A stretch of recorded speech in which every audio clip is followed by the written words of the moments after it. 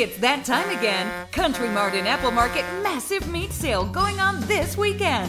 Hurry in and stock up on some flavorful ribeyes, only $6.99 a pound. Cut any way you like.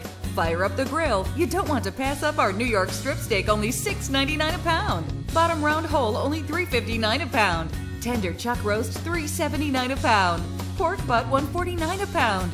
A butcher shop with supermarket prices. Country Mart and Apple Market.